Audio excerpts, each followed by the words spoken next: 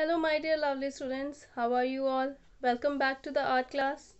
And before starting your work, you have to like, subscribe and share my YouTube channel. So let's start the work.